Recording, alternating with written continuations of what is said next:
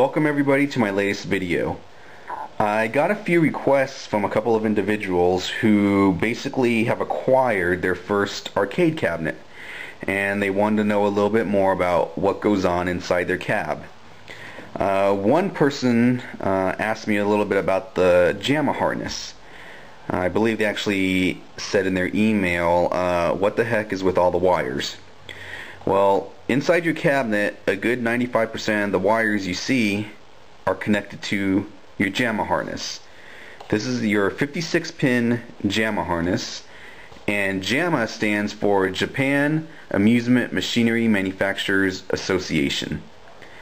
Now why is that important? Well it's really not. But back when arcade cabinets first came out, back in those old days, what happened was each arcade uh, game had not only had, of course, its own game, but also had its own set of particular uh, wiring. Uh, one company would do their wires one way, another company would do their wires another way. So it was actually kind of expensive. It wasn't as easy as it is now to just swap out a game.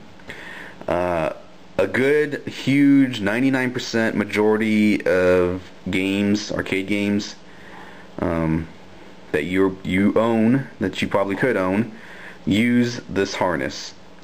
And it's real simple. This is a harness. This particular unit right here is a single slot Neo Geo board. Uh, but PCBs, for the most part, will have this. And this is where you connect your harness. And as you can see, it just slides in real easy. Now, why does it need to connect to it? Well, think of it as the, the harness would be like the bloodstream of the human body. It connects pretty much everything together. So when you connect your harness to your PCB, what happens is these wires will allow video to go from the uh, PCB to your monitor. It will allow sound to go from here to your speakers. Now, the harness itself is basically like an adapter with all these wires and each one of these wires does something different. Uh, you got a ground wire, you actually have a couple ground wires. Uh, another one of these uh, wires will go to player 1 button number 1. Another one is player 2 button number 1. Um, another wire is for the coins, another for up, down, left, right, etc. So each one of these wires does something different and as you can see it's two sets. You got a set of wires on this side and a set of wires on this side. One side is called the solder side. The other is the part side. And let me uh, show you a website that I use. It gives a detailed chart of the JAMMA um, basically what each one of these wires does. So here's the website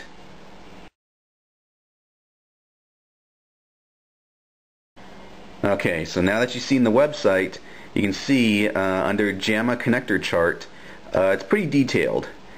It shows you what each one of these wires represents. And this particular one, I don't know if you can see it, but that one is like for button number one, uh, button number two, button number three, etc.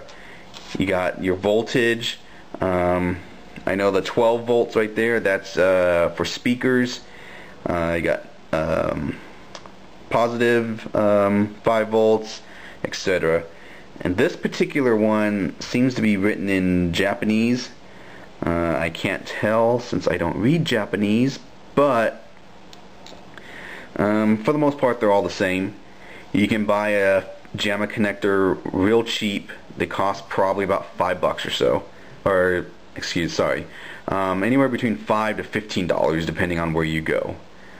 Um, at least that's the price I've been getting them for. Uh, one place you might try is jammaboards.com. Anyways, so basically what this does is it allows um, everything to be connected together. Now, although the arcade games use the 56 pin harness, uh, some of the newer games use something in addition to this. Now, the harness right here has for player 1 and player 2 uh, wires that go for button number 1, button number 2, button number 3, and button number 4. So if you know Neo Geo games, they use four buttons. So this is perfect. This is all you need. Now you may be wondering, well what about games like Mortal Kombat, Street Fighter, which use five or six buttons? Well, in addition to this, they also use something that's sort of like this. This is what's called a kick harness or a JAMMA Plus harness. So for Capcom games that use six buttons, each player uses buttons 1, 2, and 3 from this and buttons 4, 5, and 6 from the external um, kick harness. This particular one is a CPS-1 kick harness, so this is uh, good for like um, Street Fighter 2. Now, just because all you can use up to four buttons on here, not all PCBs use every single button. For example, the Namco 246 and 256 systems, they only use buttons number 1 and 2 from here, and they use buttons 3 and 4 from a JAMMA Plus harness. So each one varies a little bit, um, but it's not too hard to figure out. So basically, this this this is your main um, wiring. This is you know 95% of your wires all gets connected here. And you can see it's cut right here. Uh, when you get these there's usually about five or six feet of wiring. So if you have a stand-up cabinet or a sit-down cabinet there's more than enough to go around. Now let me show you my Neo cab. Okay here we are at my Neo Geo cab and there you can see the JAMMA harness that's connected to my four slot Neo board and you can see how the wires branch out some go that way. Those are the ones heading towards the monitor, the speakers, stuff like that.